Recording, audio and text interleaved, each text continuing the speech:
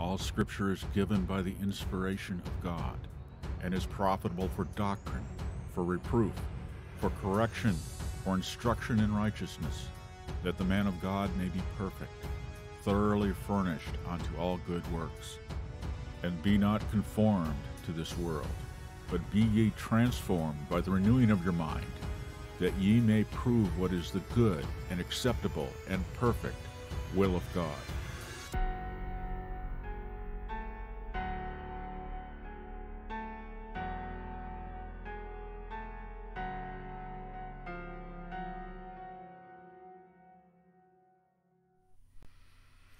Welcome to Thinking Biblically. This is the 20th day of October in the year of our Lord 2022.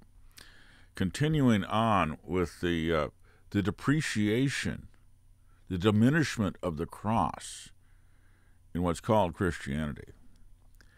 How many churches in the United States really have nothing to do with Jesus Christ and Him crucified?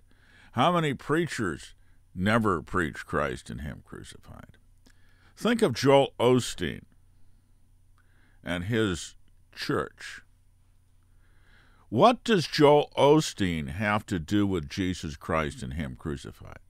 Does he preach that? Absolutely not. Absolutely not. Joel Osteen is has nothing to do with Christianity.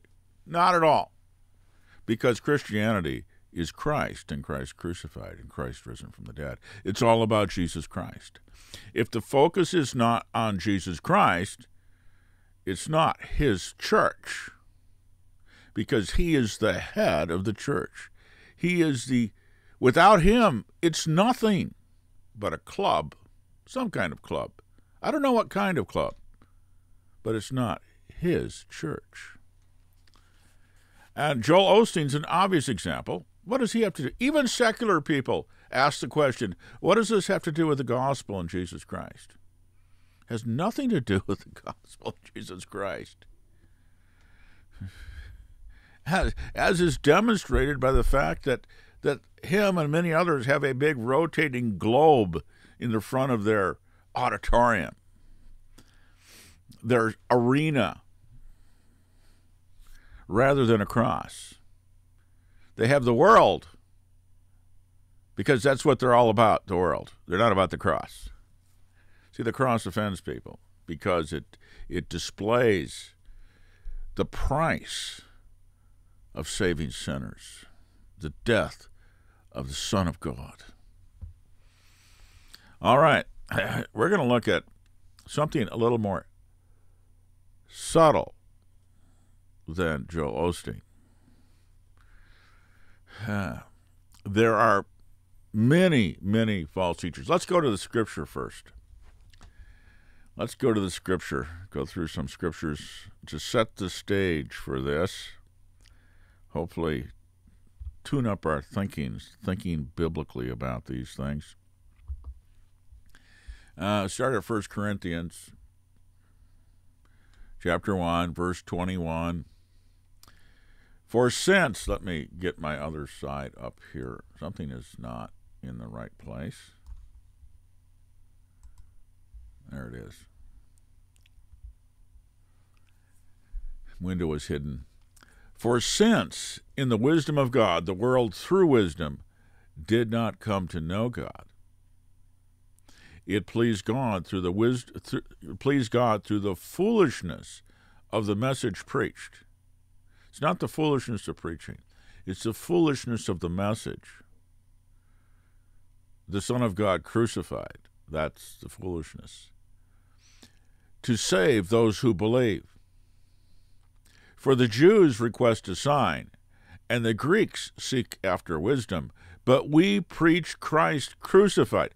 We preach Christ crucified. We, not I, we preach Christ crucified like the apostles, preached Christ crucified. To the Jews, a stumbling block, and to the Greeks, foolishness. But to those who are called, both Jews and Greeks, Christ, the power of God and the wisdom of God. It's about Christ. It's all about Christ. Christ is the head of the church. He is the life of the church. He's the Savior of the church. He is the Lord of the church. It's Christ. We are His body. So if something else is constantly being preached, how can that be a church? I was thinking this morning, how many sermons are about Christ? Really, when you think, just think. There are sermons about everything, but how many are actually about Christ and Christ, what Christ done for? Is Christ the focus of the sermon,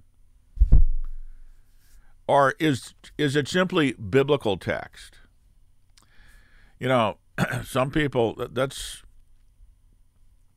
if you preach the Bible but you're not preaching Christ, what are you preaching? Isn't he the very word of God?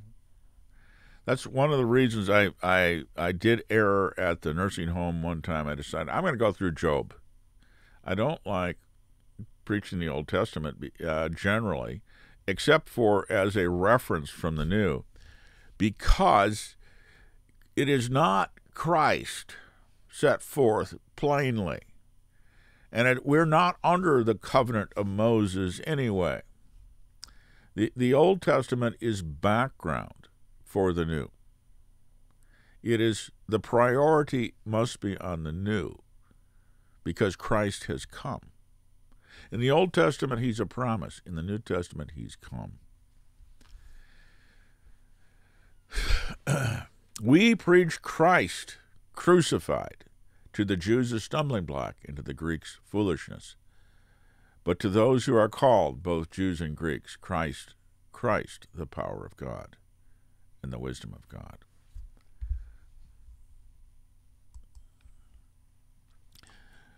Second Corinthians chapter 11 verse 3 But I fear lest somehow as the serpent deceived Eve by his craftiness so your minds may be corrupted from the simplicity that is in Christ. For if he who comes preaches another Jesus, whom you have not pre- whom we have not preached, or if you receive a different spirit, which uh, which you have not received, or a different gospel which you have not accepted, you may well put up with it. He's saying you Corinthians, you'll tolerate anything. You're like little children, you put everything in your mouth. A different gospel, a different Christ, a different Spirit of God. You have no discernment.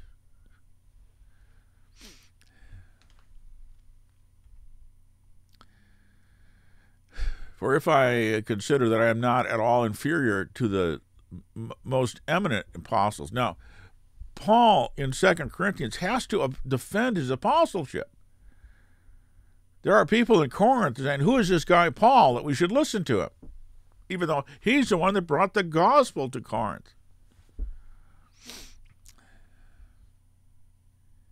Even if I am uh, untrained in speech, untrained in rhetoric, yet I am not in knowledge. But we have been thoroughly manifested among you in all things thoroughly. We have we have been open among you. We have not acted deceitfully. What you see is what you get. Did I commit sin in humbling myself that you might be exalted because I preached the gospel of God to you free of charge? So it's not, I, have heard this before.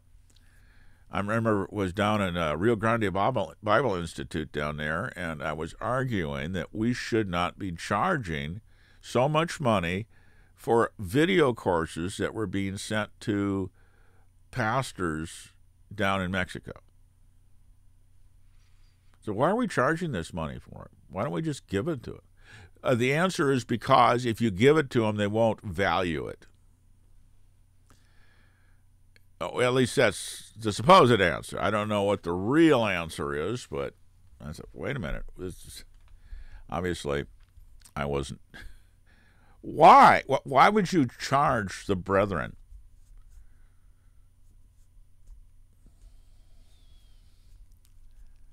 The wisdom of the world that if it's not if, if it doesn't cost them anything, it's not valuable. Christ dying on the cross didn't cost them anything either. Maybe that's why he's depreciated, ignored, devalued. among so called Christians and preachers.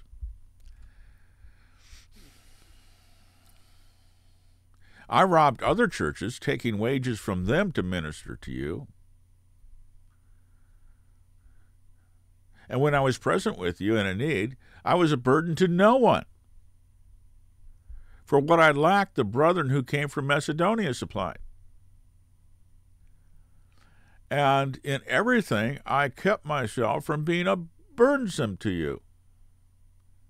And so I will keep myself. Then he goes down to verse 13. He's talking about, you know, you have to read the whole context of several chapters here. Now he's talking about uh, uh, those who boast, those that have other gospels and other Christs and other spirits. For such are false apostles, deceitful workers, transforming themselves into the apostles of Christ. They are not of Christ, but they're pretending to be. And no wonder, for Satan himself transforms himself into an angel of light. Therefore, it is no great thing if his ministers, his servants, also transform themselves into ministers of righteousness. Do you hear that? So Satan's servants disguise themselves in appearance. They, they, they infiltrate the kingdom of God pretending to be ministers of righteousness. Well, what's the righteousness of God? Christ, whose end is according to their works. So Paul is being accused of being a false uh, apostle. And these other ones are actually the false apostles that are accusing him. So let's go to another scripture. This is 2 Peter chapter 2. Uh, referring to the same kind of people. These are springs without water. Dry dry springs that, that can't save your life. You go out in the desert and you expect you go now when you traveled in an arid land back in those days, you'd go from water source to water source because you can't live for more than a day or so without water. A couple, actually, it's about three, I think. But I mean, you have to water your animals, you have to water yourself. So you'd go from water source to water source. You can only carry so much water with you. So when he came up to a spring that was supposed to be there, and your your life depended on it, and it was dry. Springs without water, mists driven by a storm. For these are uh, uh, for whom the black darkness has been uh, uh reserved. Hell for speaking out arrogant words of vanity, arrogant words of nothingness, meaninglessness, of no value. Joel Osteen, arrogant words of vanity. And many others, not just Joel Osteen is just in your face vanity. All his possessions are vanity. His houses are vanity. His words are vain, are vain, empty.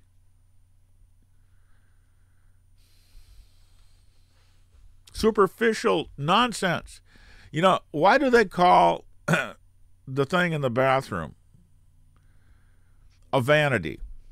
The thing with the mirror that uh, generally refers to women, but men do it too. You go there and you you you you uh, fix your outward appearance it's just a, a, a front.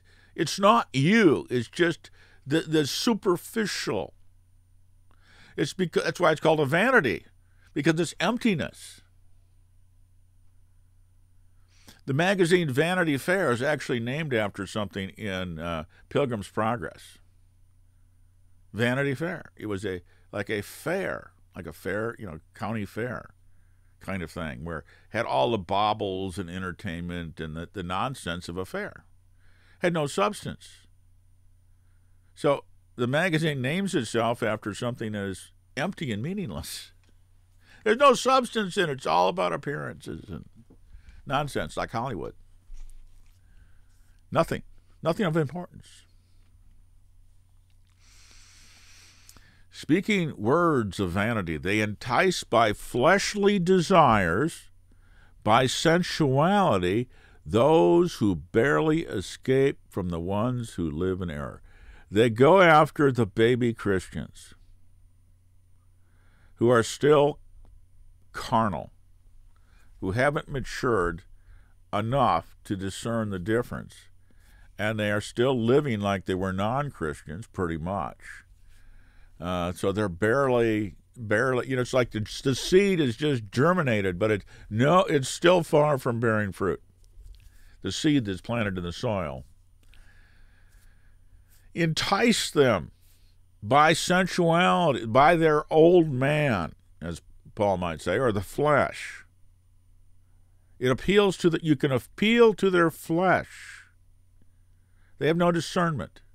They're like babies that'll put anything in their mouth.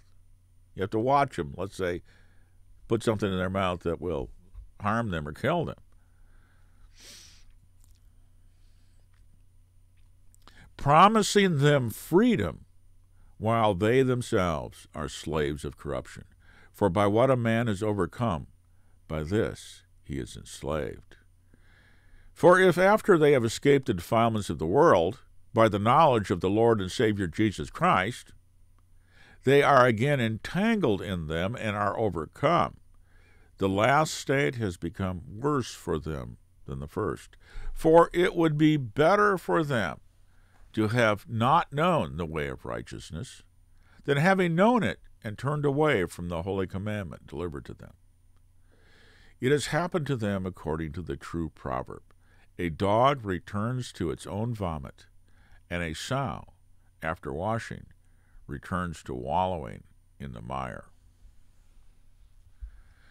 Hmm. Well, we're going to look at a half of a very short video. The first, oh, about two, two and a half minutes. I have not edited it. We're going to start at the very beginning. But I think, well, two minutes is more than I can stomach. And I do not wish to vomit all over the keyboard here. This is a video from Desiring God. John Piper's organization. John Piper's best known book, Desiring God. Best selling book.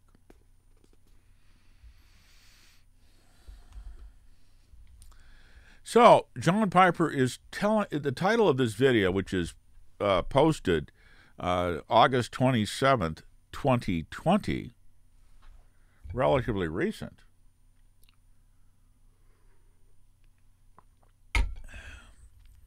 Is titled Rethinking. Uh oh. If somebody does rethinking, well, you ought to listen carefully. It's like if I tell you to rethink something, if I t- if, if if I am telling you something that is sounds different, you ought to think about that and examine what I'm saying carefully. Make sure that I'm not leading you away from the faith delivered once for all unto the saints. That I'm leading you to that, not away from it. Rethinking cross centered preaching. Now you know why this caught my eye. Now, I didn't go looking for this. You know, the YouTube, the, AI in YouTube threw it up on the screen. Rethinking cross centered preaching.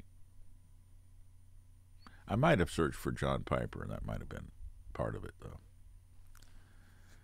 rethinking. So so that almost sounds like cross-centric now, uh, let me point out something. Luther, Luther said, and I agree completely with this. We must read the Bible in a Christocentric manner. In other words, it's all about Christ. The entire Bible. It's all about the, the from the fall of humanity to the glorification to the final state. It's all about Christ. It's all about Christ's salvation, God's saving. It's about the fall and salvation of humanity. And that's all tied up with Christ. He is the Savior. He is the Creator. He is the Word of God. So if when you when preachers use the Bible in such a way that it is disconnected from Christ and from the gospel and from the salvation story, this broad story, and they use it as a source for other things, another message, they are misusing the scripture. I agree 100% with Luther on that. And here's John Piper saying we need to rethink that. Apparently, Spurgeon says it says down here, right in the uh, description. Spurgeon apparently lived by a preaching motto. To uh, I or to what is it? Let me get this other thing out of here. Take your text and make a beeline to the cross. Right. If you don't end up with Christ and Him crucified, what value is there in it? If you're just using the Bible as an, a source of abstract information or how to have your best life now, it doesn't matter how much how how much scripture you use to justify that it's not god's message if you can't relate it to Christ, it's not God's message. It's it's just extraneous data out there disconnected from God. You're just using God's words for other things that isn't God's purpose. We preach Christ and Him crucified. Spurgeon preached Christ and Him crucified. John Piper wants to think rethink that. Let's see what John Piper says. And I, I like I said, I can only go through like a half of this. now, John Piper is a very well-known person. Many he has many devotees. Not I don't know if so much now, but he's pretty much retired. But I mean, people that would pastors and others that they would not go through the summer without going to his conference. Very big name among the young, restless, and reformed. Among young pastors. One must ask why. Oh, let me get over here on the right screen. So, I don't think that the controlling question, how can I preach the gospel from this text, has, over the last 40 years or so, produced the kind of preaching that makes for strong, Bible saturated, doctrinally rich, mature, stable, countercultural churches with a passion for radical obedience to God's word. Okay, now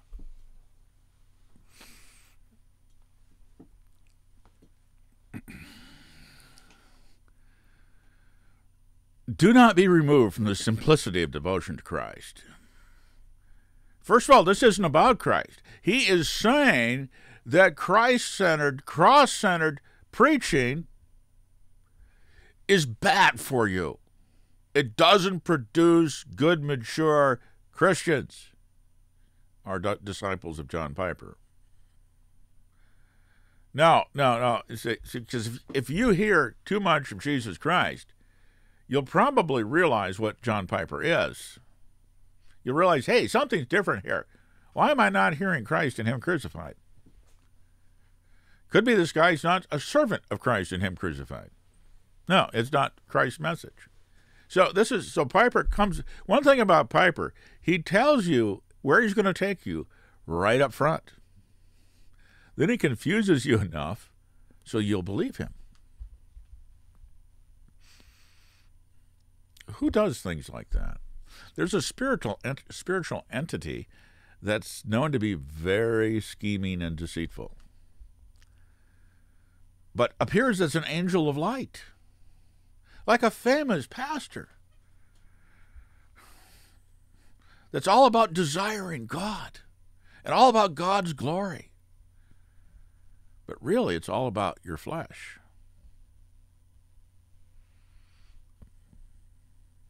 I don't think it has served us well.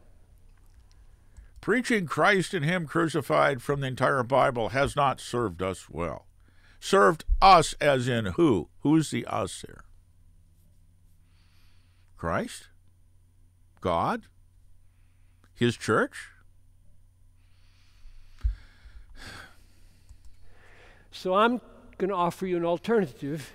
An alternative to Christ and Him crucified. As I said, Piper's right up front. You'll get it right at the beginning of his message. To those who think that preaching Christ or preaching the gospel from every text means dealing in some general comments about what the text says, hovering just above the text, seldom explaining the very words and phrases, and then moving on to the real concern of making a gospel crescendo with Christ and his atonement and the forgiveness of sin so everybody can walk out relieved. Um, in other words, the purpose is to get so into the words that you can't see the forest through the trees anymore, like he did in this book, which is not about the justification of God at all. It's about the justification of Calvinism. it is a Calvinist um, apologetic based on Romans 9. Defending uh, absolute sovereignty in the sense of uh, absolute determinism. It's not about what Romans 9 is really about. But he gets really down into the weeds. Yeah, so you don't so you lose sight of what's being communicated. So you get you can get so far into the grammar and the word structure and everything else that it's not the message that's being communicated anymore. It's just creating confusion so you lose track of the message, and then you put your own message in. Once you no longer know what it says, see, this is what the devil does. Once he so confuses you with the Greek and the Hebrew and all these other things, you see, that's not, the devil doesn't do that in order to help you understand what God is saying, because it is a translation we use. We're not we don't speak uh, Koine Greek. So sometimes there you need to clarify the things a little bit. But if it's not clarification, but rather what it is, it gets so far into these things, you lose track of the message, the opposite thing, and all of a sudden you think, I don't understand the Bible. I can't understand the Bible. Uh, only John Piper understands the Bible. And then once you, your mind is is numbed and you become uh, convinced that you're utterly ignorant, then John Piper will tell you what you have to think. It's brainwashing. To convince you that you don't really understand at all, so he must help you understand. Like rethinking cross centered preaching.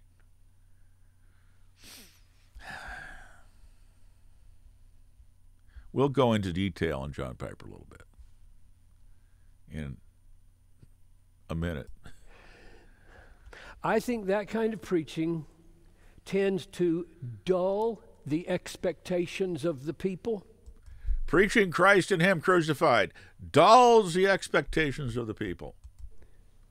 That they might actually see fresh, new, beautiful, tough, deep.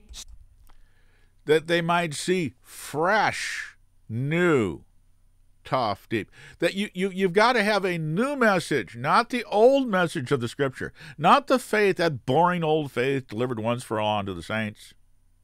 We need something new and exciting. Piper will give it to you. See, not that old stale thing. Uh, oh, yeah, there was that. Uh, I can't remember who wrote that book. I, I remember somebody wrote a book talking about fresh. I think it was Fresh Fire was the title of it, something like that. And he, in that book, I might be wrong on the title. He talks about those stale old letters, talking about the New Testament, Gospels, and epistles. Now, we need fresh words from the Spirit. And this book was being pimped in a so called revival in the largest Nazarene church in Danville, Illinois, well over a decade ago.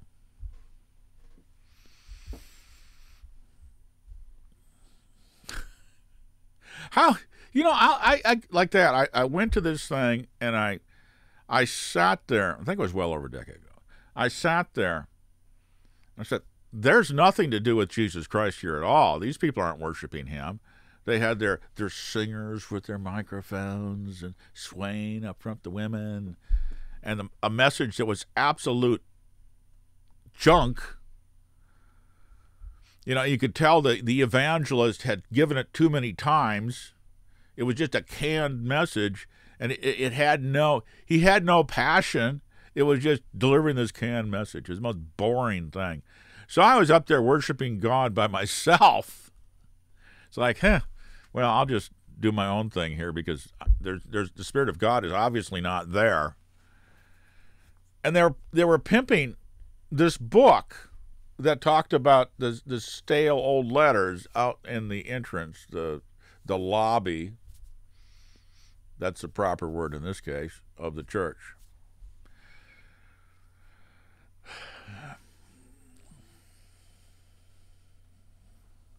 Nazarene Church not a United Methodist Church, not an Episcopalian church, not a PCUSA church.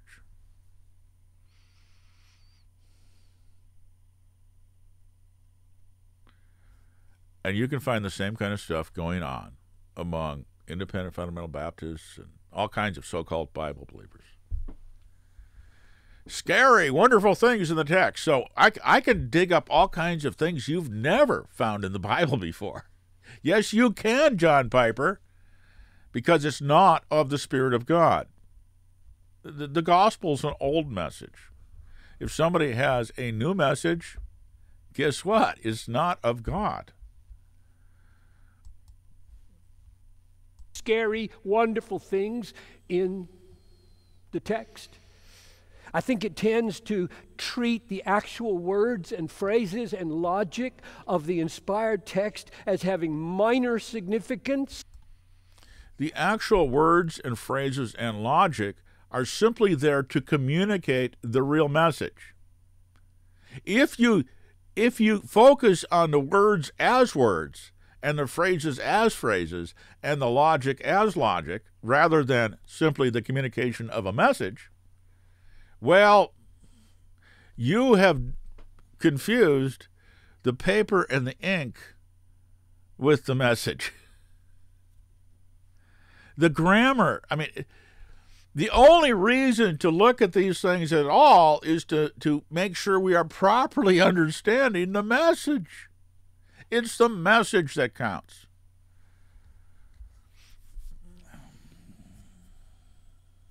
What is God saying? That's the only thing that matters. And if you're not delivering that, if you're delivering an alternative message, that you've managed to to uh, impose on the text. See, if people just talk about the text, they don't talk about the message. Something wrong with them. They're they're trying to, to pull the wool over your eyes. By giving the impression that they don't need to be treated with any particular rigor or care. They're just preparations for the main thing that's coming. Oh yeah, the gospel. The gospel. Oh yeah, that that that ter- yeah, uh, the the Bible. That, that's oh God forbid that you not focus on the letters and the grammar and the logic here, and make room for the gospel.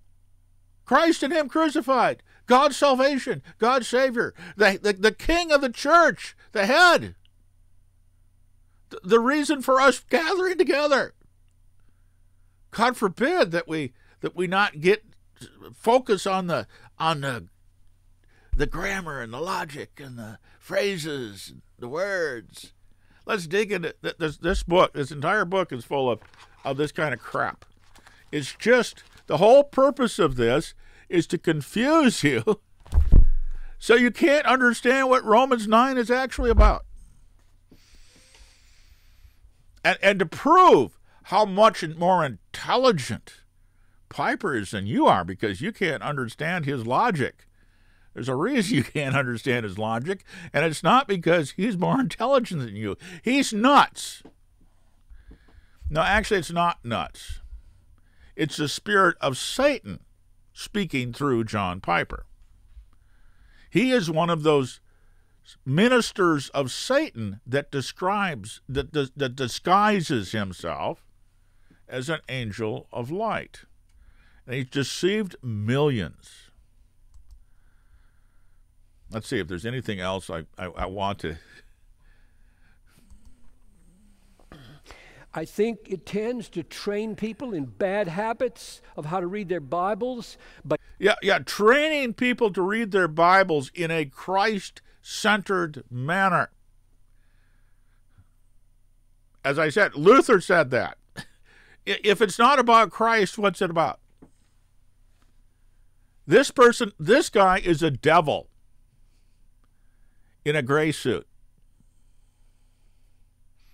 The devil diminishing the rigor and earnestness of meditating on the words of God day and night. I think it tends to. So, no, no. So, so Christ is not the message. It's the words. We got to study the words. Well, what's the purpose of looking at the words? okay, that's enough of that. Um, it's just that Piper's so open about his heresy that it, it, it, amazes me that he can get away with this this garbage. And that's what it actually is. I mean, I didn't go looking. I, I never saw saw this before this morning. I just happened to see it there, and I clicked on it. Five minutes long, and like, yikes! He saw the title, "Rethinking the Christ-Centered Preaching." Rethinking Cross Centered Preaching. That's the title of his thing. No, we don't want to do that. Who would tell you not to preach Christ and Him crucified? Who would come to you with a message to not do that? Satan. So, a minister is a servant. A, a servant of Satan serves Satan, a minister of Satan. Piper is a minister of Satan. Out of his own mouth with his own title in his own video from Desiring God, which is all about desiring your flesh. We read they, they, they entice through the lusts of the flesh to seek to turn you to the flesh. So we're going to look at that a little bit. John Piper's book, Desiring God. Um, I'm going to look at there is a section in here on conversion. uh, the the beginning, if you simply read the first paragraph of the preface, that should be enough. But if you read the introduction, you'll find out why Piper is not saved at all, but really seeking in a very subtle way to pursue the desires of his flesh. You know, using God for your own happiness. Uh, it's very in your face and open, but if you can't see that, I don't know. Either you're still carnal, still a babe in Christ, or perhaps you haven't been saved. Yeah, absolutely no spiritual discernment. Anyway, I'll just read the first first paragraph here in the book. In the preface, uh, it starts with these words: "There is a kind of happiness and wonder that makes you serious." This is what Piper likes to do. This is what Satan likes to do. He likes to throw words out at you that sound profound, but they're really gibberish. This is a quote from C.S. Lewis, who sounds profound and really speaks gibberish, in a, a thing called The Last Battle. Uh, C.S. Lewis was a gifted writer, but a her- he was not a Christian. He was not a heretic. He denied penal substitutionary atonement and a number of other things. Uh, no, he's you deny that you've denied the gospel. If you deny that Christ paid the penalty for your sins on the cross, took the full penalty upon himself in your place, you've denied the gospel. I don't care who it is. If they deny that, they're a heretic. They have no salvation. They're still in their sins because you haven't believed the gospel. This, this is the first paragraph here, under the quote, this is a serious book about being happy in God. It's about happiness because that is what our Creator demands, commands, commands. So, it's not about the gospel. It's not about Jesus Christ. It's about this is a serious book about being happy in God. It is about happiness because that is what our Creator commands. Quote, delight yourself in the Lord. Unquote. No ellipsis. Psalm 37 4. So, Psalm 37 4 is about God commanding you to be happy. Not at all. Not at all.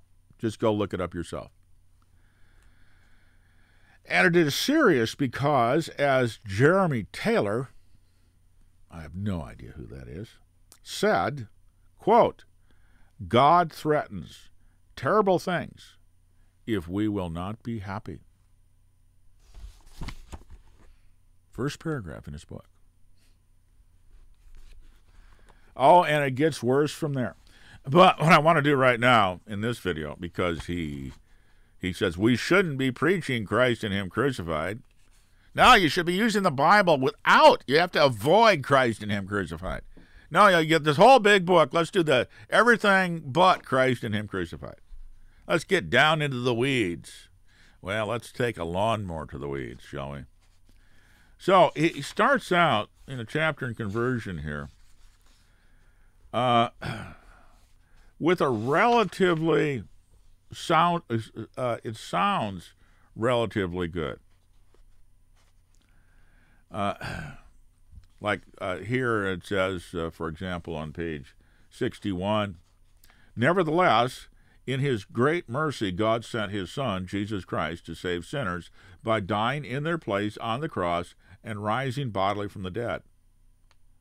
This saying is trustworthy and deserving of full acceptance that Christ came into the world to save sinners. 1 Timothy 1:15.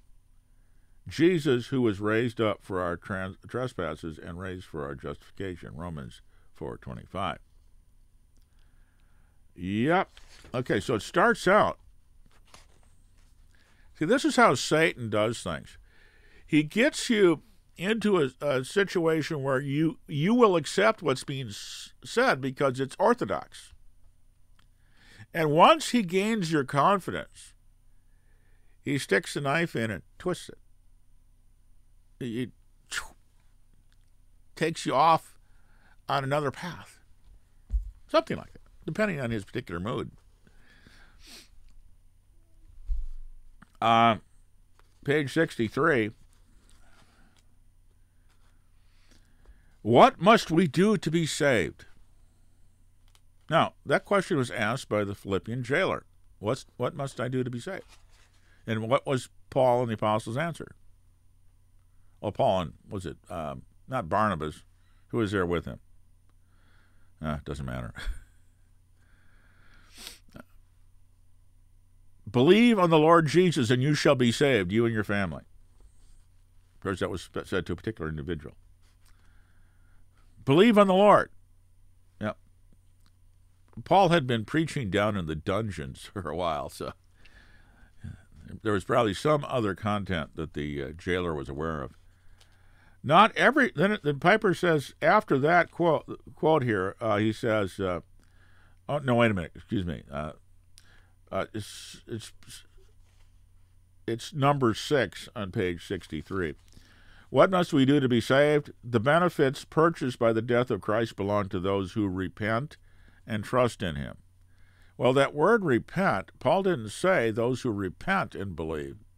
And repentance is wrong, was usually wrongly defined as putting away your sins. The Nazarenes, in order to even believe in Christ, you must first repent by ridding yourself of all your sin. How can a, how can a sinner, an unregenerate sinner, put away their sins? That's what they are by nature, a sinner. Repent means change your mind, change your attitude. That, that's that's what it means. Metanoia, a change of mind. This idea that it means putting away your sins is a tradition that's been added.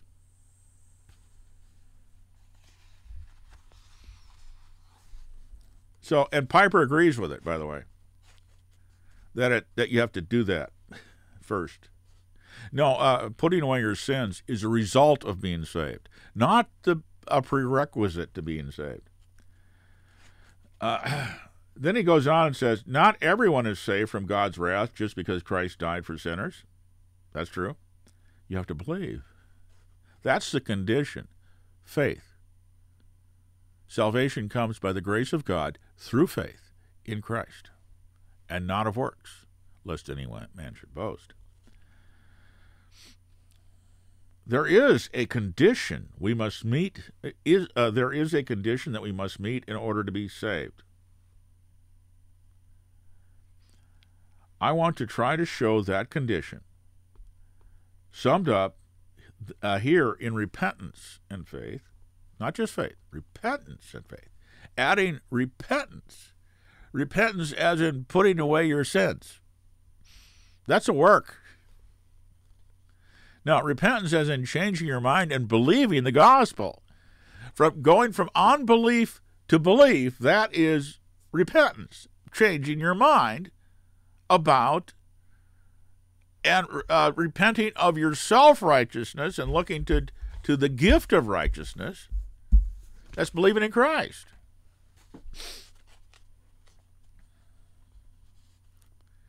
A conversion, and that conversion is nothing less than the creation of a Christian hedonist. Piper's a hedonist that calls himself a Christian. Conversion is used in the Bible only once. Acts 15 3. Well, the word, that particular word. Paul and Barnabas passed through both uh, Phoenicia and Samaria, describing in detail the conversion of the Gentiles, and brought great joy to all the brothers. So, why is the what's the purpose of isolating the word conver- conversion that way. This conversion involves repentance and faith. Well, that verse doesn't say that. As the others report in Acts shows. Uh, now, re- again, repentance, the, the, the word repentance, as it's commonly used in Christianity today, has, has its meaning uh, changed from the original idea of a change of mind to putting away your sins, repenting of your sins. Search the scriptures. and see if the Bible ever says, repent of your sins. It's a change of mind, it's not a change of actions. The word itself, it's metanoia, literally, change of mind. It doesn't mean in or if you have to repent, put away all your sins in order to this keeps you from believing the gospel. The believing the gospel, the gospel is about God saving you, not you saving yourself. It's not about what you do, it's what God did. The change in your actions is a result of salvation, not the cause of it. It's a fruit on the tree, not the root of the tree. Then he says, uh, correctly, conversion is a gift of God. And then on the top of page 65, he says this. See, it's like rat poison. Look at the ingredients.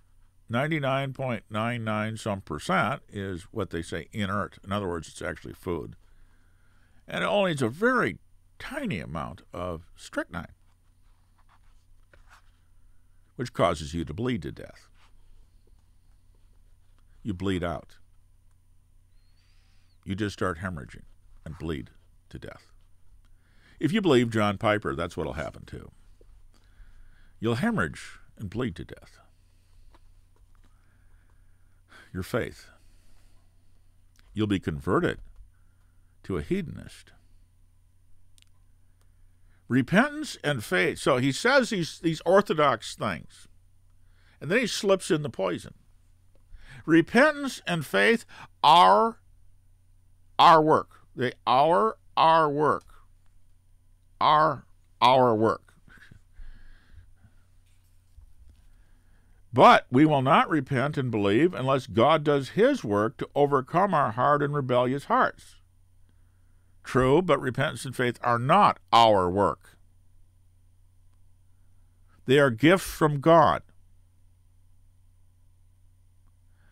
Work, besides, faith is always contrasted by the Apostle John, uh, uh, excuse me, Apostle Paul, with works. Faith is not a work. It's not something you do. It's faith in what, trust in what God did in Christ. Faith is not an act that you do to merit anything. It's trusting what Christ did for you. Satan is so subtle, he will twist anything. This divine work is called regeneration. Uh, well, regeneration is actually more than that, but yeah. Our work is called conversion. No. We are saved by the grace of God through faith in Christ and not of works, lest any man should boast. The Apostle Paul, Ephesians, chapter 2, I believe.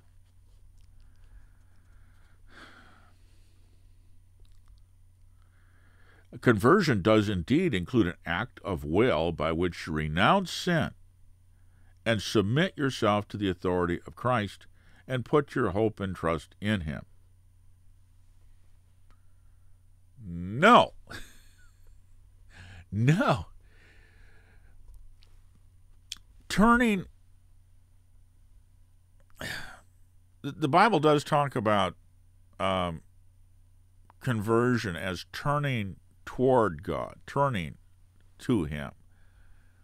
That is not the idea of, of you have to put away your sins in order to be saved. That's what Piper is saying here.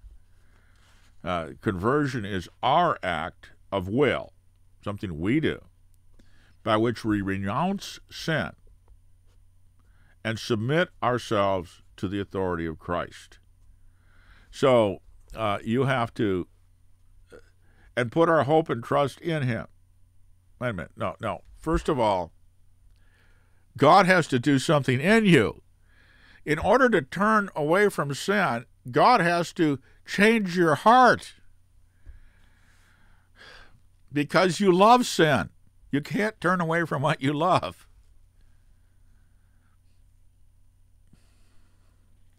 We are responsible to do this. So we're responsible to, to put away our sins and make Christ Lord. Submit ourselves to the authority of Christ. Uh,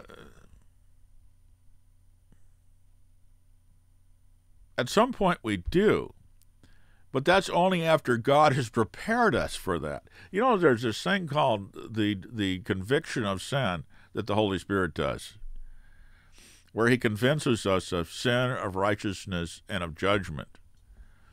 And then it becomes in our in our self interest, even in our unregenerate state, we realize that uh, for my own sake I have to. But no, it's not. See, Piper confuses works and God's grace. He does not under. Well, Satan is confusing. Always, Satan seeks to confuse grace and works. Look at Rome. They've been con- uh, confused for almost 2,000 years.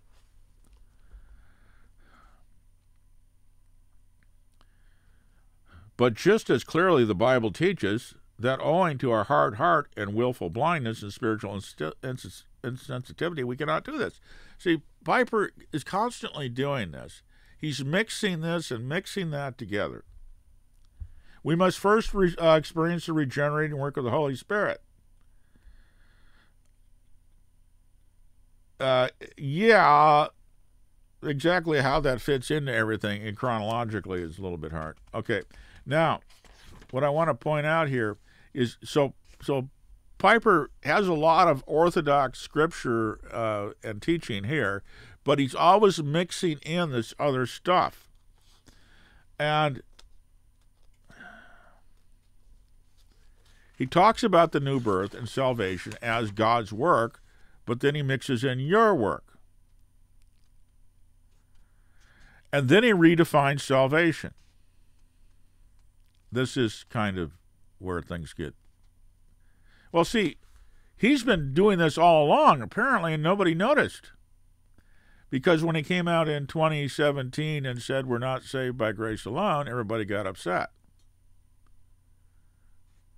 He did say that, and then he doubled down on it when he was called out on it. But he's been saying that all along.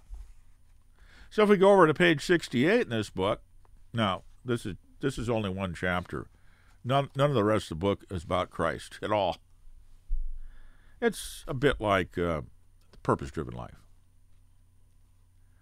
Yeah, the purpose of the purpose driven life is really about you and your happiness. And that's exactly the same as Piper's book. It's really about you and your happiness. How to be happy in God. And you're going to hell if you're not.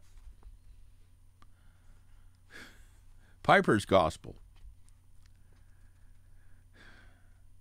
So, on one hand, he'll say like this it is owing solely to the free grace of, of God. It depends not on human will or exertion, but on God who has mercy, Romans 9.16. We get no credit. He gets all the glory. Now, he doesn't actually get glory at all anyway. He gives glory. he gives God's glory is for us to see him as he is, to know him better. That that's that's glorif- that's how God is glorified in us. It's it's not really God doesn't become more glorious. He only becomes more glorious in our perception. God does not lack glory. He does not lack importance. That's what the word glory really means. How do, uh, he, he it's as we esteem him more, we are glorifying God in our uh, in our thinking of him. It's not that he's changing. You don't have you can't add to God's importance. But always watch out for the buts. But if salvation refers to justification, there is one clear condition we must meet. We are justified by what? Grace through faith in Christ. what, what does Paul say? We are justified through faith, justified through faith, justified through faith, and not of works.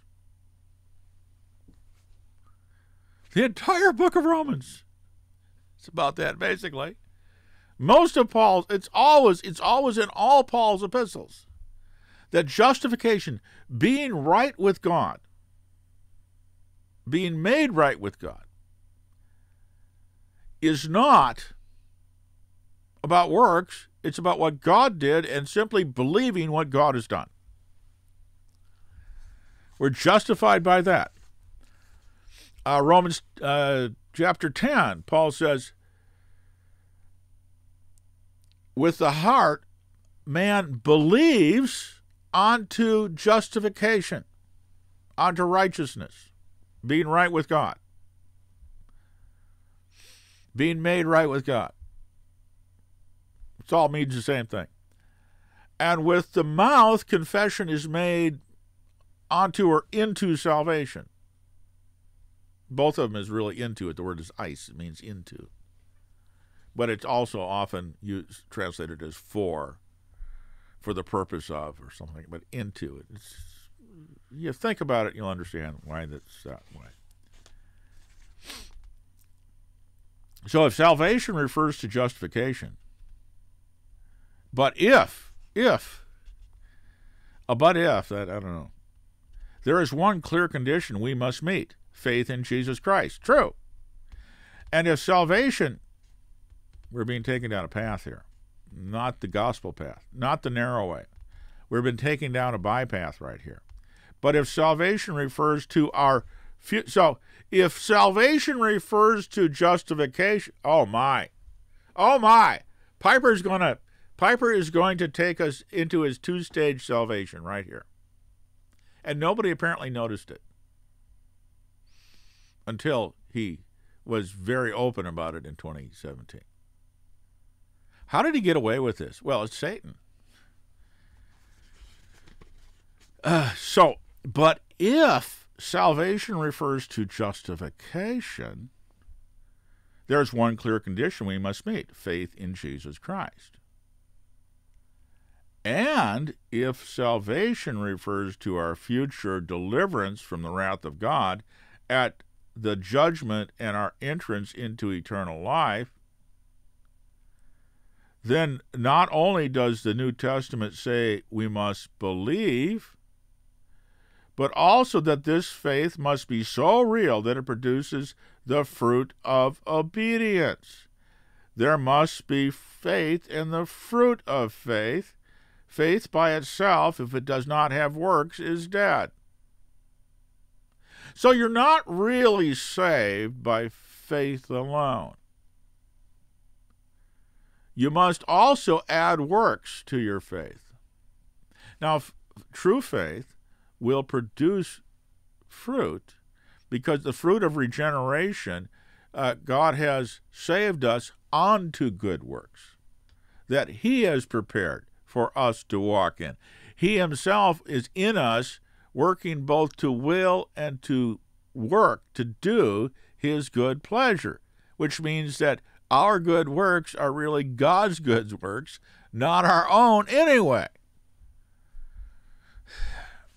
But that's a result of salvation, not the cause of salvation. You have to be made into a tree that's fruit bearing, a radical transformation in what we are. So, so what is so if and if so if if salvation so this is let me sort of clarify what he's saying here. But if salvation only refers to justification, I'm inserting the only. There is one clear condition. There, there's only one clear condition we have to meet: uh, faith in Jesus Christ. That, that that will bring justification, but that's not really salvation. If that's only what salvation is.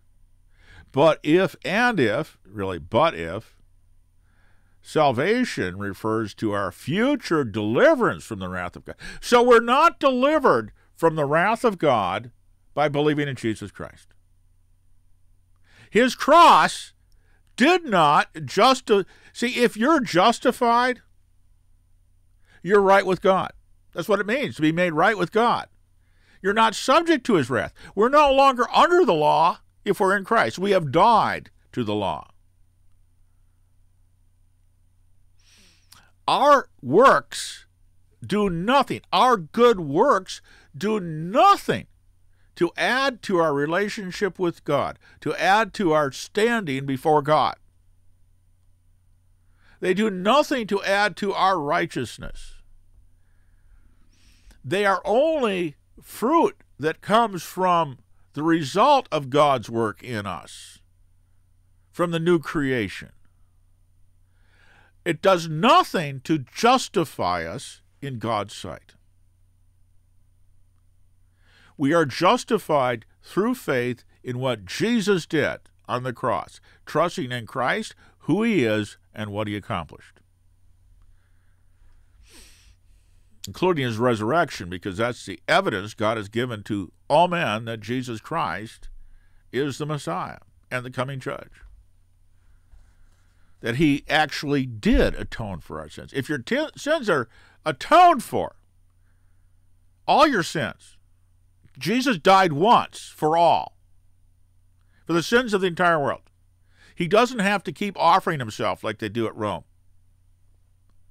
It was a once for all sacrifice, a once for all payment for all sin. So he, he's being very, very deceitful here. He's leading Satan is this is Satan speaking. Really, really. And if sal- and if salvation refers to our future deliverance, actually there should be a but there, but that would be too obvious. If salvation refers to our future deliverance from the wrath of God, so in other words, believing in Jesus Christ does not actually justify you and deliver you from the wrath of God. Really? So you don't have eternal life.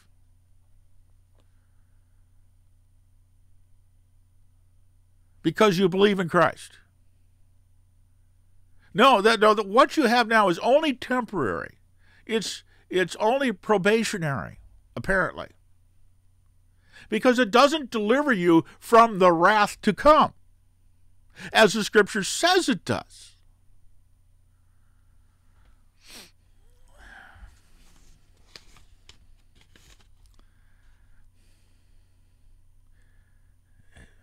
So if salvation,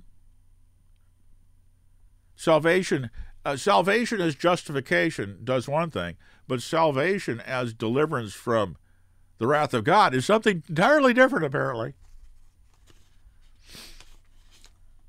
Uh, but, but or and I'll reuse his word. And if salvation, see the word salvation here is in, in italics, in both cases, refers to our future deliverance from the wrath of God at the judgment, first of all, there's two judgments.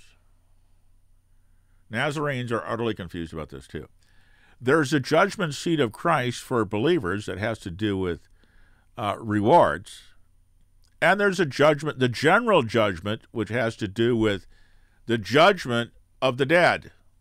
There's two resurrections. There's a resurrection of the righteous and a, resur- a general resurrection. One is before the millennium, the other is after the millennium.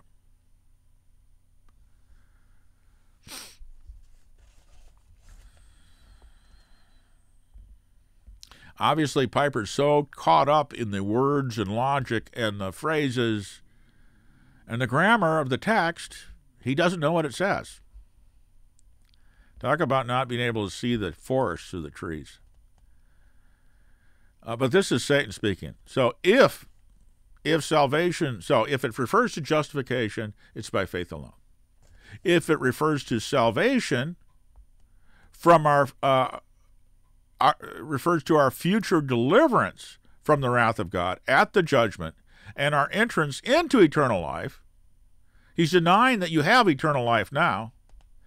Then not only does the New Testament say that we must believe, but also that this faith must be so real that it produces the fruit of obedience.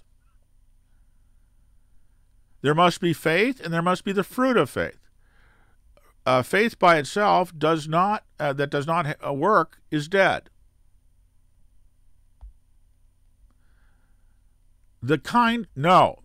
James is referring to the kind of faith.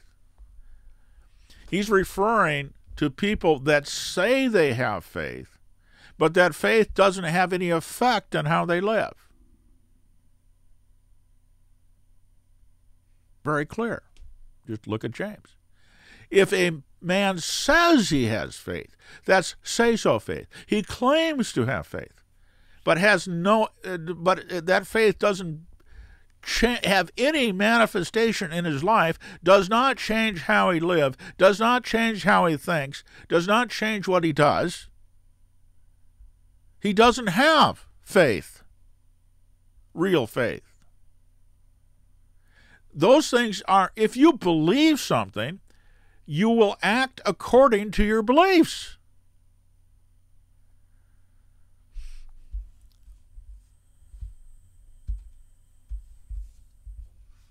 And with Christians, we have this problem. We have a new creation in us, and we still have the flesh with sin abiding in it. So we don't act consistently with our faith. Have you noticed? But because we're justified by faith alone in Christ, see, Christ is the object, He's the what saves. Faith is merely the means that we partake of God's grace in Christ. It is not faith itself, but faith in Christ. The emphasis is on Christ, not the faith. Christ. Faith is only the access to the grace. The faith brings us into the grace of God in Christ, keeps us in the grace of God in Christ.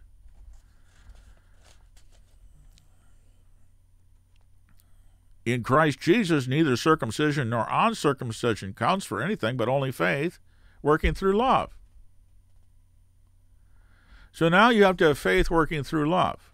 So he keeps adding things. The devil this is the devil twisting the scriptures. If there's if you want to see a personification of the devil on earth, it's not really Joe Biden, it's John Piper. Not that Joan Piper uh, Biden is just a sock puppet.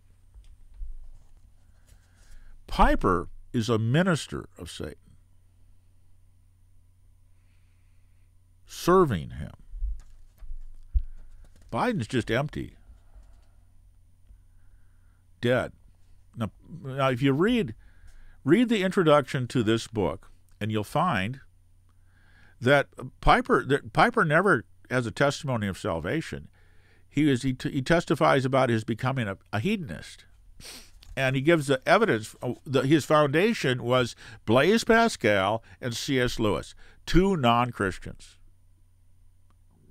Two two people. Uh, uh, Blaise Pascal was a Catholic heretic called a heretic by the Roman Catholic Church. I think he, I recall, I think he denied the Trinity. Uh, he certainly would have uh, denied the penal substitutionary atonement. It's a little vague. I don't have a perfect memory, but I know C.S. Lewis denied penal substitutionary atonement. He thought it was terrible, and other things. Not a Christian. If you deny that, you have no salvation. Now, here, this is a. How, how did he do this? Because this book goes back to 1986, and people didn't even get upset with Piper until 2017. This is this is salvation by grace plus works. This is what Rome teaches. Uh, yeah. In Christ Jesus, neither circumcision nor uncircumcision counts for anything, but only faith working through love. Now, if you go back to the context of Galatians, what is uh, Paul puts an anathema on those who add works to faith, doesn't he? Isn't that what that whole book is about? The fatal error of adding works to faith. In that case, it was a work of circumcision. obedience to one command? Strive for the uh, for peace with everyone, and for the holiness, without which no one will see the Lord. Well, in the contents of Hebrews, which is about uh, admonishing Jewish Christians not to go back to the law, but to stay in Christ and salvation by faith, because they were under persecution by the Jewish community to return to Moses. So the, the whole uh, the holiness that we're supposed to pursue is the holiness that we have by being justified in Christ.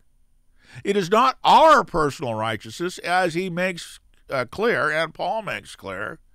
It is a righteousness that's given to us, a holiness that's given to us. Holiness has to do with what who you belong to, not what you do. A holy vessel is holy because it belongs to God.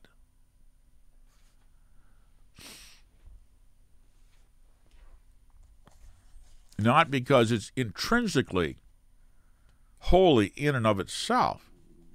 The uh, say the the the, uh, the lamp in the temple.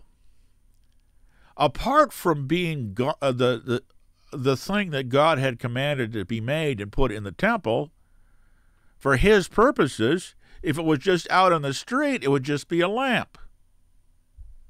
We are holy because we belong to God. That's the only reason we're holy. Not because of what we do necessarily. We do lots of things that are common, don't we? Just about everything we do is common.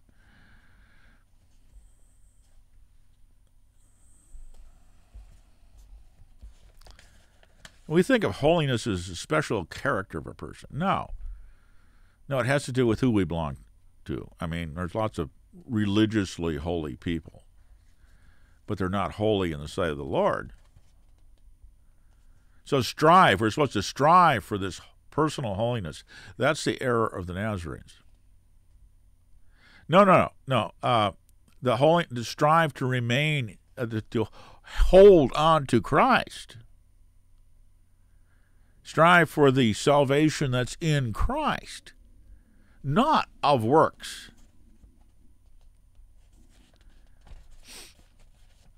again, when James talks about uh, the faith without works is dead, it's a faith that has no evidence that there's anything real to it is dead. In other words, it doesn't affect you at all. I, I say I believe in Jesus, but it makes absolutely no difference how I live. That is dead faith. In other words, it's you don't really believe it because if you really believe something, It will change what you do. If you believe that Joe Biden is a sock puppet for Satan, you might not vote for him, right? But if you do vote for him, what does it demonstrate? You actually served the devil. Just a hypothetical example there.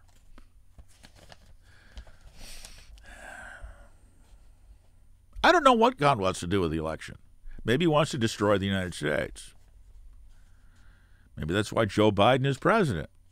The wrath of God is on the United States, and Joe Biden is the instrument of God's wrath, just like Pharaoh was the instrument of God's wrath on the Egyptians. Think about that.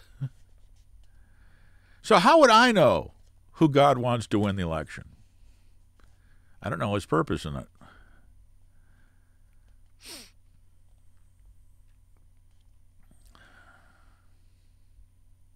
When we cry, what must I do to be saved? So are you still crying that, John Piper? John Piper's unregenerate. The introduction to this book proves it. Proves it, absolutely. He's unregenerate. The answer depends on what we are asking. See, this is it right here. This is how the Satan works. Um, so the question is it how to be born again, how to be justified, or how to be finally welcomed into heaven? See? Do you see what Piper's doing? He's separating justification and salvation, final salvation. This is a lie. And he was taught this lie at Fuller by Daniel Fuller. This is what the stink was about in 2017 when he came out and openly said this thing.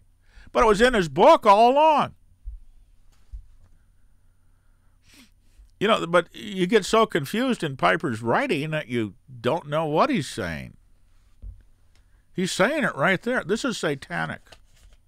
Absolutely satanic. It has the subtlety of Satan. Really. I'm I'm not exaggerating at all. Piper is a minister of Satan.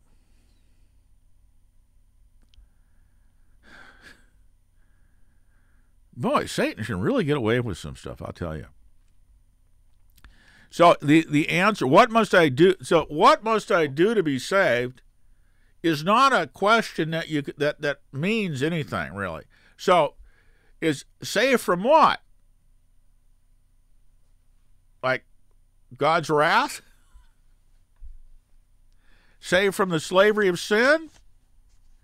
Isn't it like a one salvation? No, no, no, no. That's we're talking about multiple different things here. Apparently, when we cry, what does it mean to be saved? The answer depends on what we are asking.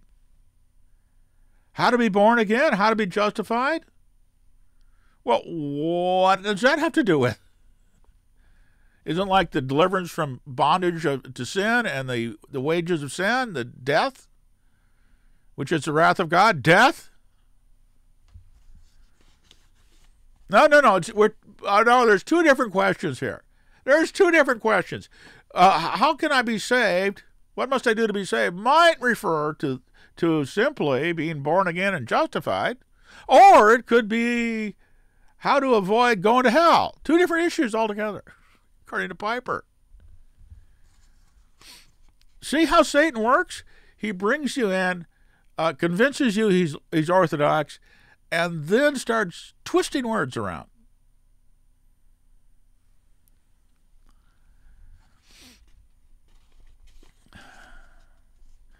When we say the answer is become a Christian hedonist, we mean that God's work is new birth, our faith in Christ, and the work of God in our lives by faith to help us obey to help us obey Christ. This is the fullest meaning of conversion. So, what does hedonism have to do with that? And no, that is not. Faith does not help us to obey Christ. It is God who is at work in the redeemed person, both to will and to do his good pleasure. It's a union with God in Christ. So, God's will and our new nature, the will, uh, our new will, are united as one in one spirit, and we are basically that part of us is in the image of Christ. Christ didn't try to obey God; he he was God. There there was a his his human nature and his divine will divine nature were in perfect harmony.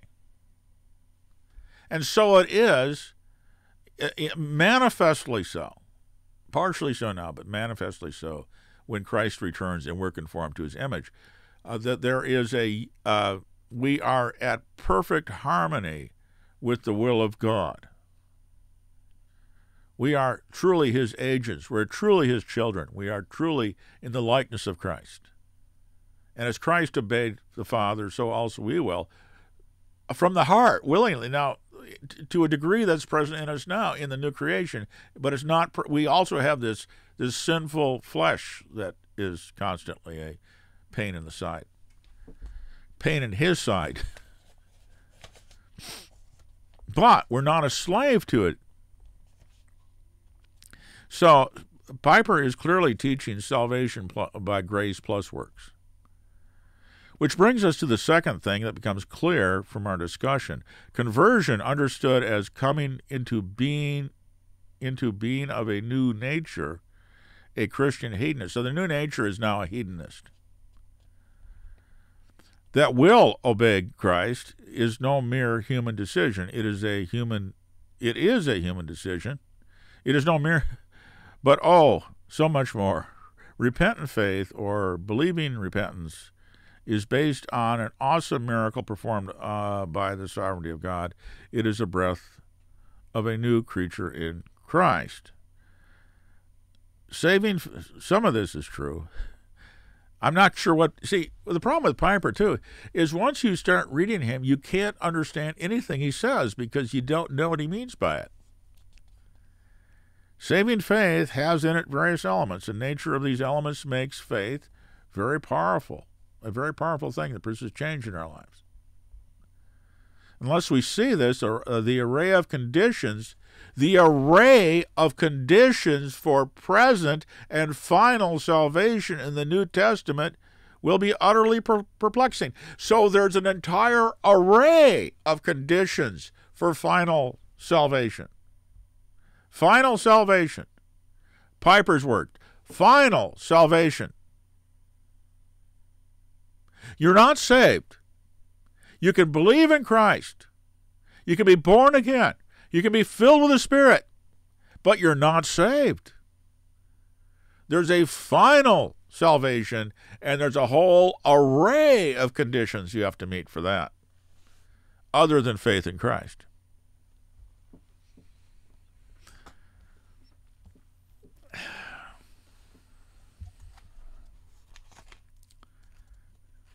What must I do to be saved? The answer in Acts 16:31 is believe in the Lord Jesus and you will be saved. The answer in John 1:12 is we must receive Christ. To all who re- receive him, he gave uh, the right to become the children of God. Well, receiving Christ is simply believing on who he is. It's not necessarily receiving, confessing him as your Savior and Lord. What does Paul say in Romans 10? Two things. In order to be saved, we do what? With the heart, one believes onto righteousness or into righteousness, into justification, right? Being right with God. And with the mouth, confession is made into salvation, identifying yourself with Christ. So it's both believing in who Christ is and what he accomplished for us, and also identifying ourselves with him. So you can receive Christ as Savior and Lord as far as acknowledging who he is and believing that. But that isn't the many disciples, there were many that believed on Christ but did not identify themselves themselves with him because they were unwilling to pay the cost of doing that. So that's uh, we have to go by what when the scripture teaches what you have to do to be saved. It's so Piper does not actually understand the Bible because he's unregenerate. Uh, he is. I mean, just read the introduction to this book. The answer in uh, in Acts uh, three nineteen is repent therefore and turn again, that your sins may be blotted out. Repent of what? Your self righteousness and believe in God's righteousness, His gift that's in Christ through faith. Piper doesn't understand the Bible. He just confuses you so much and spins things around. You think he understands it because you can't.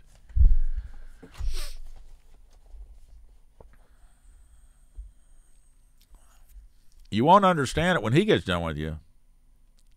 The answer in uh, Hebrews 5 9 is obedience to Christ.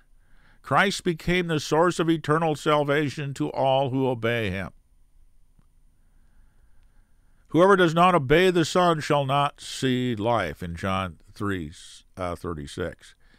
Uh, okay, let's let's take a look at that because I think that's an important uh, verse. This is uh, whether it's Jesus speaking or the Apostle John or I mean John the Baptist is no. Let's Just forget what I just said. I can't do two things at once. 336. Okay. He who believes in the Son has eternal life. Has. Present tense. But he who does not obey. Now, the word here obey is epithel. Uh, and it can mean it's disobedience. In what way? Not believing in the Son. So you could translate, I think that word would better be translated uh, he who refuses to believe. This definition from Strong's is not sufficient. Uh, so it's so here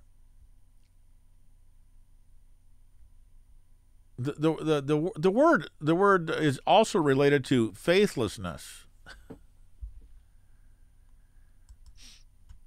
Let's go. Let's go at the context here. So always look at the context. If you get confused, look at the context.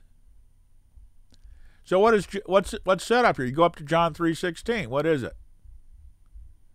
For God so loved the world that He gave His only begotten Son, that whoever believes in Him doesn't say obey. It says who does whoever believes in Him shall not perish but have eternal life. Now faith does produce obedience. If you really believe someone, you'll listen to them and do what they say, right? Because you trust them. You trust. faith and trust, the same word. Same word in Greek. And it also has uh, connotations of faithfulness. So if you believe someone, you'll be faithful to them uh, let me give you uh, an example. I don't want to use Biden.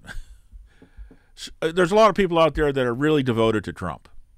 So if you believe in Trump, you will listen to what he says and you'll follow him, right? Just using a contemporary ridiculous example. If you believe in Jesus Christ, it's not simply believing who he is. It, it also, faith involves a, a commitment, a, a trust in him. And that's why the word, it can also be translated as faithfulness. It has to do with the relationship, not simply a fact. It's not simply knowledge of facts. That's not biblical faith. So you you can believe that the uh, the Pharisees and the temple authorities were well aware that Jesus could do miracles, that Jesus ro- raised Lazarus from the dead. And because he did that, they determined to get rid of him. As Nicodemus says, he was he was one of the members of the Sanhedrin. He said, and he said, "We know." So the Jewish authorities, Nicodemus was one of them of their Sanhedrin, their, their Senate, said, We, he didn't say, I know. He said, We know that you are from God because no one who is not from God can do the things you do.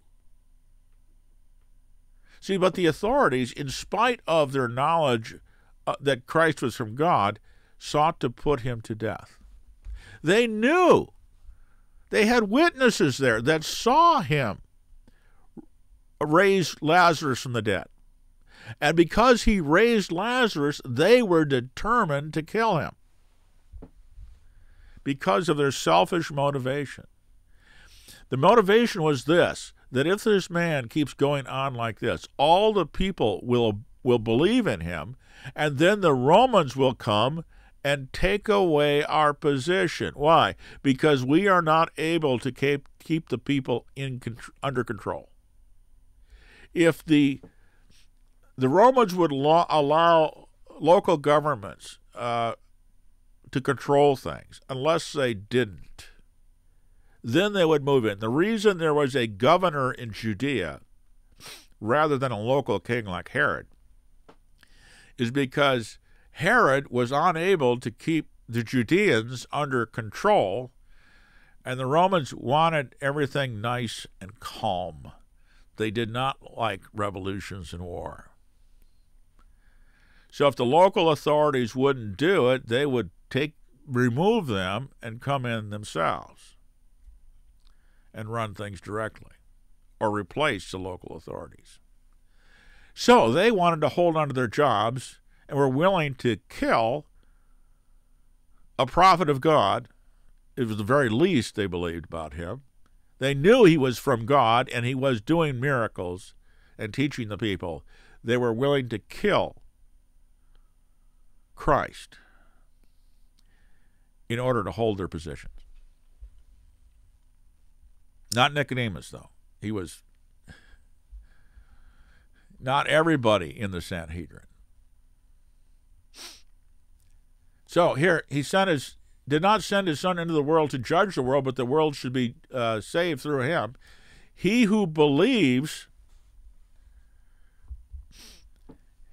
he who believes in him is not judged, but he who does not believe has been judged already. So, what is the difference here, really? Believing and not believing. Believing in who he, well, it's like when uh, Paul says, if you believe that, that Christ has been raised from the dead. Well, that has a lot uh, uh, to do with who he is. As Paul also says, that that is the evidence God has given to all men that Christ is indeed the Messiah, the appointed one, the promised one, who will judge the world in righteousness. When he preached to the uh, the to the Athenians, he was preaching judgment. At that point, not the gospel. He was preaching that Christ is coming to judge. And here, Jesus Christ himself is saying this that, uh, that he that does not believe is judged already because he has not believed in the name of the only begotten Son of God. See, judgment is based on whether or not you believe in Christ, not on the Ten Commandments or the 613 Commandments or the two commandments. It's based on faith in Christ or not believing in Christ. And this is, let me take a look here at something.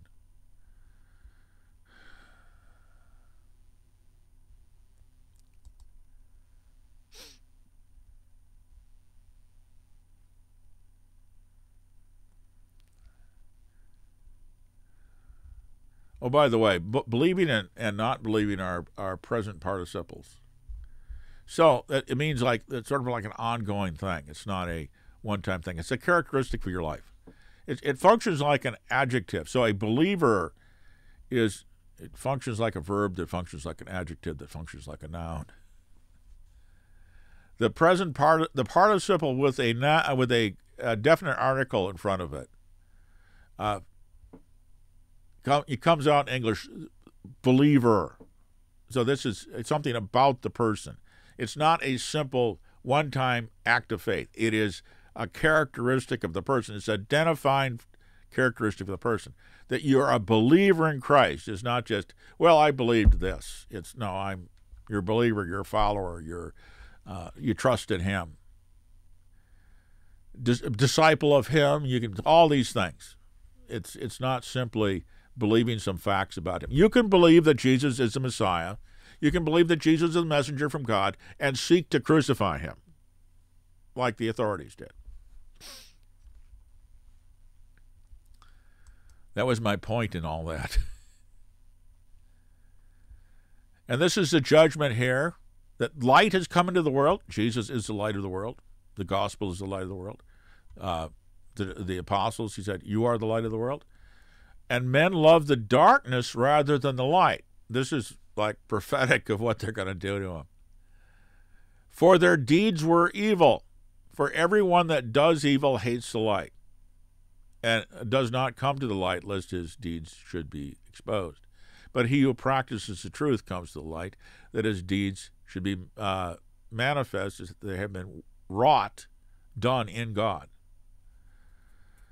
Okay, so so that John 3 36 is about Christ and your relationship to him. It's not about you're not you don't have you you obey Christ because you belong to him. No, you don't obey Christ in order to belong to him. You don't obey Christ in order to be saved. You obey Christ because you've been saved. Piper actually says that, but then he flips around in his own head and says something opposite. Piper does not understand what Piper is saying. How can anyone else say what understand what Piper is saying?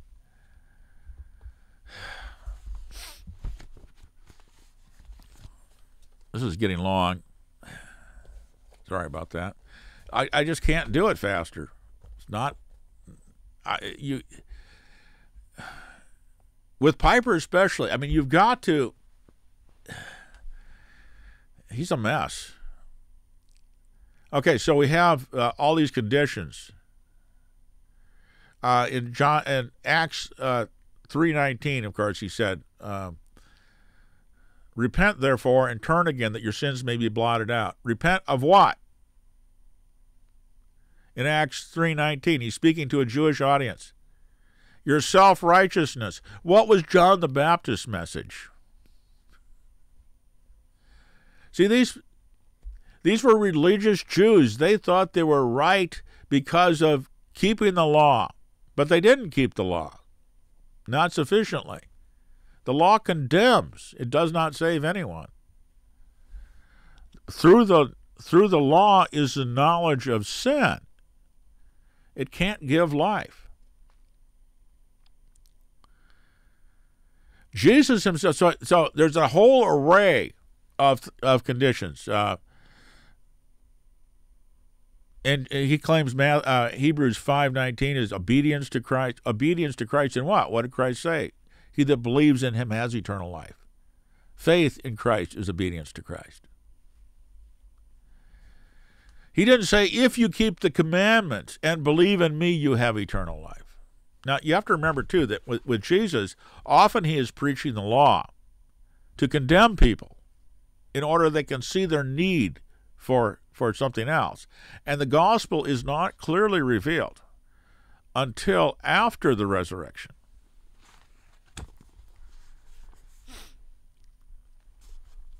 But you always have to look in the context. So, faith, the Jews knew from the law of Moses that when the Messiah came, they had to believe in him or they would be cut off from God. Moses said that.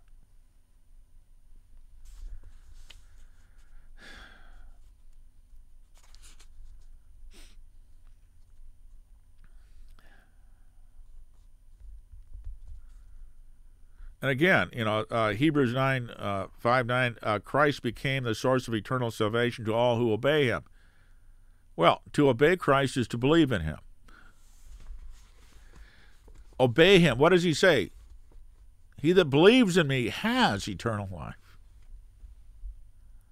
Has, not will have, at the final judgment. You already have it. If you are a believer in Christ, you have eternal life. Eternal life is in the Son. If the Son is in you, you have eternal life. Uh, okay. For example, another condition Matthew 18:3, he said that childlikeness is a condition for salvation. No, it's not. Truly I say to you, unless you turn and become like children, you will not enter the kingdom of heaven. We also said, unless you're born again. Do you suppose there's a connection between what Jesus was saying? Now, this is sort of encoded. Jesus, Jesus spoke in spiritual language so the people wouldn't understand. That's why. Why do you speak in parables? And what was his answer? So that hearing they would not hear, and see uh, they would not under you know in order they would not understand until after the resurrection. It was not that they would permanently not understand. It was like he had something he had to accomplish, and that was die for our sins and rise from the dead. Couldn't accomplish anything until that. So all this other stuff was preparatory. So, uh, so childlikeness is a well. What, what's it talking about here? You actually just simply believe. See, uh, being not childlike is try, like trying to make a deal with God. A child just asks, "Can I have some?" They don't know enough to try to make a deal with you. A young child just hold out his hand. I'd like some. You just ask. Seek, what did he say? Seek and you shall find. Ask and it shall be given unto you. Knock and the door shall be opened unto you. That's childlikeness. You just just ask. Instead of trying to earn it, trying to, to buy it, trying to make a deal. That's what adults do, not children.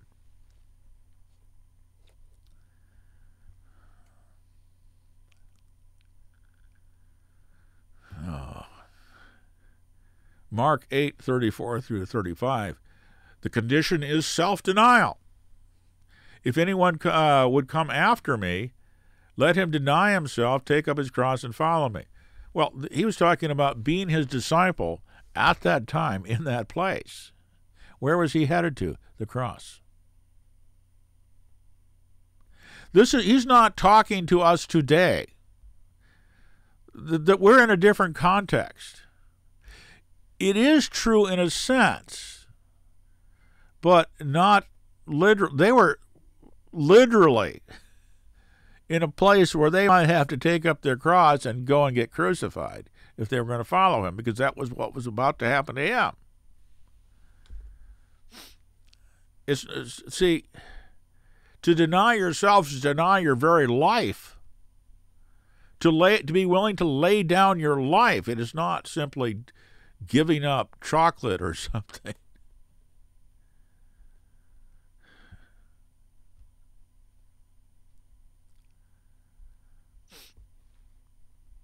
Matthew 10:37.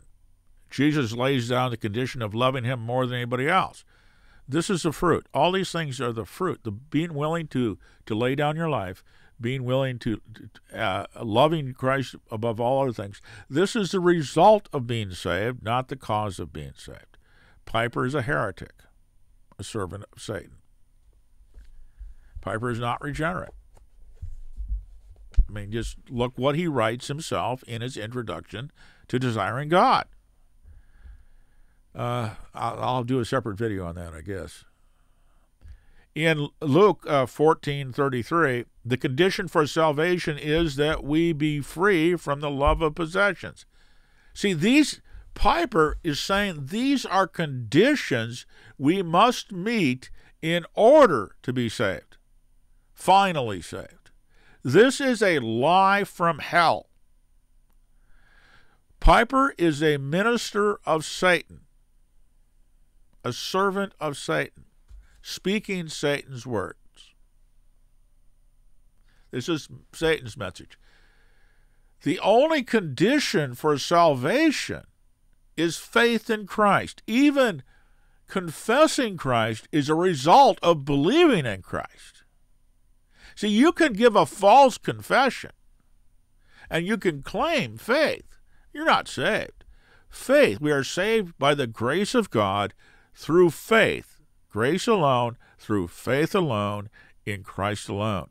All the other stuff uh, uh, as a result of God's regenerating us and giving us a new heart and a new spirit and all these other things, are the fruit of salvation, what the new man produces because God has transformed our nature and left us in a body of sinful flesh for a while. Not for very long, I hope. Not for we can all go at once. That'd be. Uh, but th- this is this is, Piper does not understand salvation at all. I'm assuming he's simply ignorant and not deliberately trying to damn everybody. That's what the person that's speaking through him is seeking to do. So, yeah, you have to you have to make yourself love God more than everything else. Uh, no, no, this is Piper is very confused. Uh, we are not saved by fruit. We are saved by the grace of God through faith in Christ. Fruit is simply what the tree produces. The tree is the tree regardless. An apple tree is an apple tree even if it doesn't produce fruit that year. It's still an apple tree. And the nature of the apple tree is to produce fruit.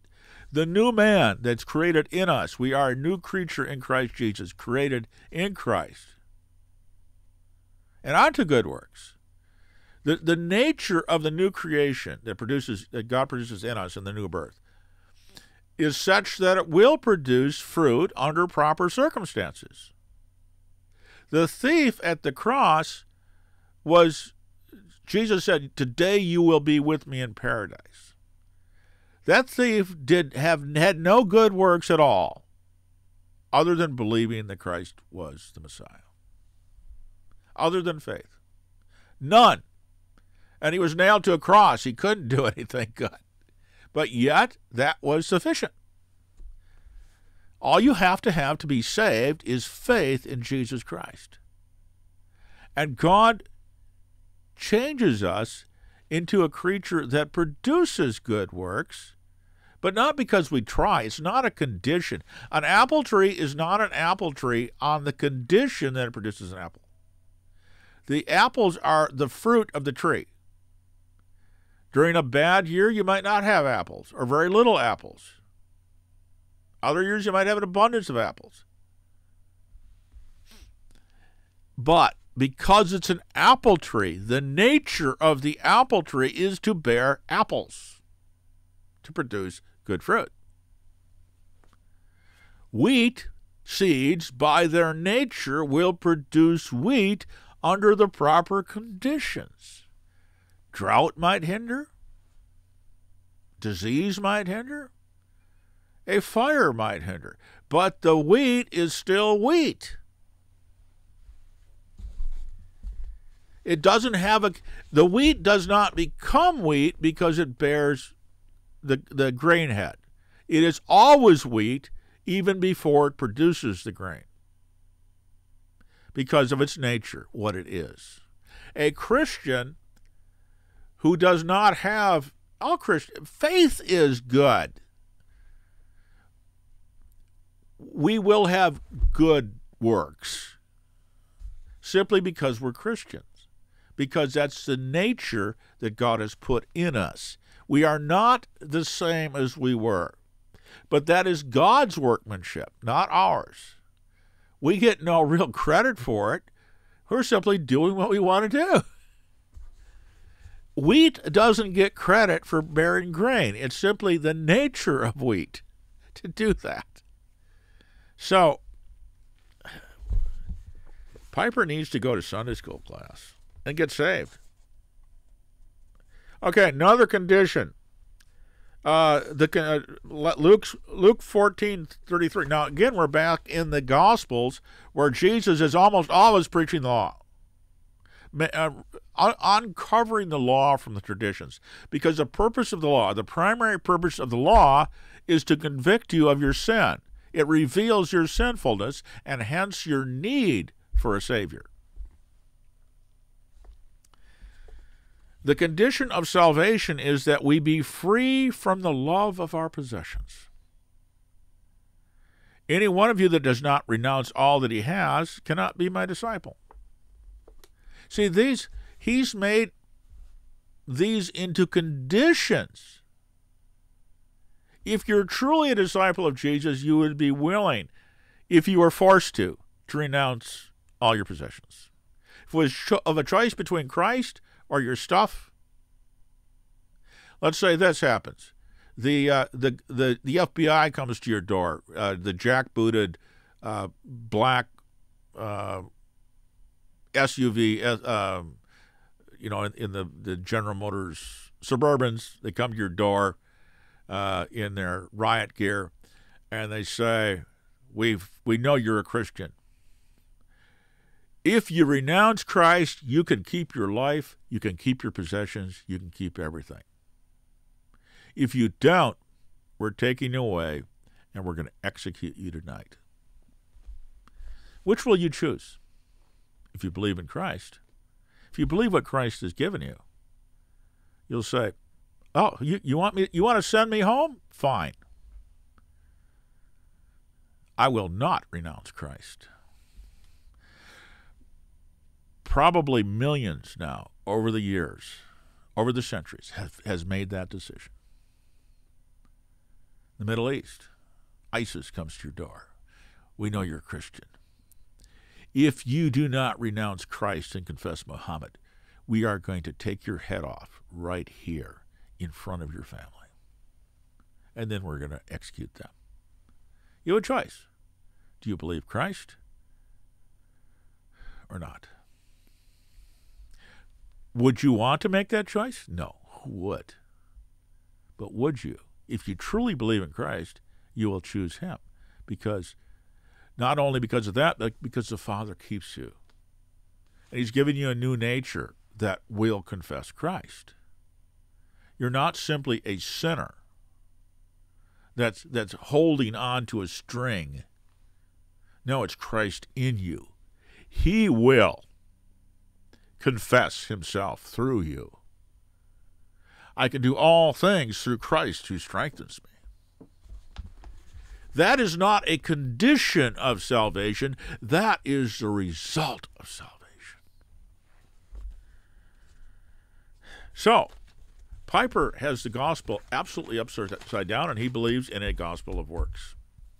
Faith plus works. In his own words, in his own book.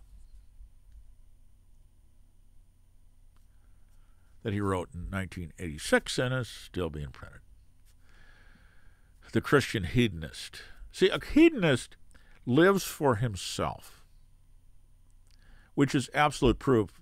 You know, you go into, like I said, just read the introduction. Piper got none of this from the Word of God. He got this from Blaise Pascal and C.S. Lewis. But it appealed to Piper's flesh because that's all Piper was. He was unsaved. And he continues to be unsaved. He has not repented of any of this as we saw in the short video. We don't need, we need to get into the text. None of this preaching Christ and Christ crucified. He doesn't want Christ. He thinks preaching Christ is an error. Preaching the gospel is an error. That's the same old thing salvation by faith in Christ.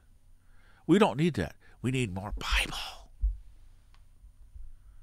Well, what is the when Piper exegetes scripture like this, who's being glorified? Well, who has a big name in the front of the book? Piper. The exegetical theological study of Romans 9, 1 through 23. Page after page of nothing but theological gobbledygook that glorifies not God, but John Piper. This is all trash because it doesn't convey the true message. It obfuscates, conceals the true message of Romans 9 and instead glorifies the genius of Piper. All about Piper's glory, not God's, in spite of what Piper says. well, how long have I gone?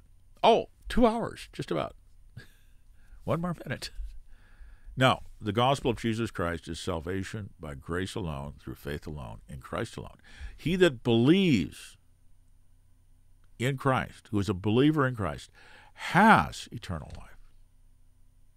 Not maybe someday if you meet all the conditions for final salvation. You are saved. Your sins were paid for on Calvary almost 2,000 years ago counting down to a little tiny few more years. It'll be exactly 2,000 years for, since, well, we don't know exactly 30 AD or 33 AD, whatever.